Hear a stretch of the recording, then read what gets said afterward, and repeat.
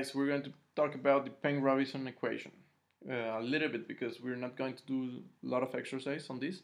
It's just to let you know that this exists and why it's important.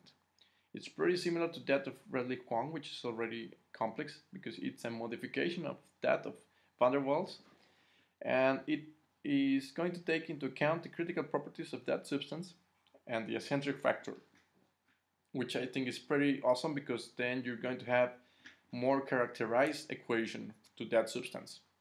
It's accurate to near critical conditions, so if you're approaching the critical point, which is critical pressure, temperature, it's still valid.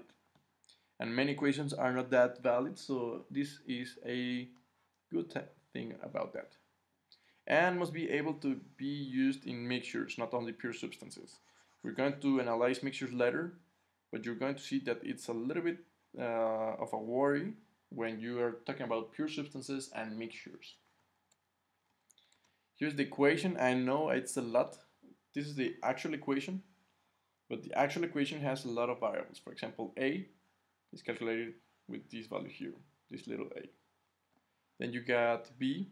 You're going to see that B is of a quadratic form here, 1 to B, B squared.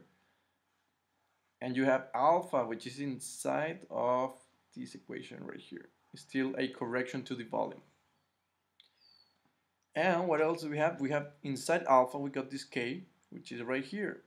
And this K depends on the acentric factor, which is the one that actually describes the best molecule. So this will account for the molecule shape, the reduced properties here, and the critical properties here will account as well for that substance. And this is good because we are going to have a better model fit. And once again, if you want to check out the problem on the Peng-Robinson, uh, yeah, Peng-Robinson equation, go check it out here because I'm not going to do it here. I think it's way too much equations and yeah, essentially we done exercise. You already know how to plug the numbers. But if you really, really, really want to check it out, go and check it right here. Go to the courses and we're done, guys. This was the last equation. We're going to see a new concept, which I think is pretty awesome compared to this equation of states.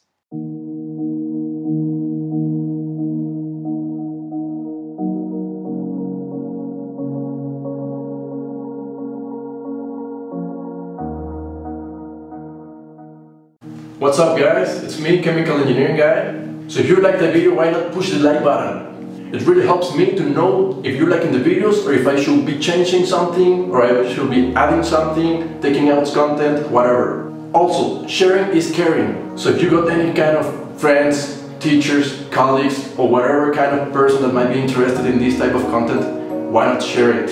Sharing helps our community to grow faster in members and in content. If you want to keep track of my activity, videos, uploads, experiments, playlists, whatever content I'm getting on YouTube, be sure to click the subscribe button. Subscribing to the channel is totally free guys.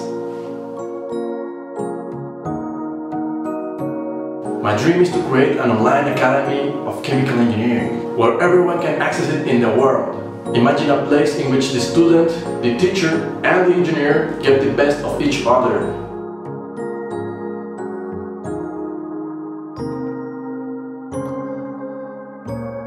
Thank you, thank you, thank you guys for the support and the love.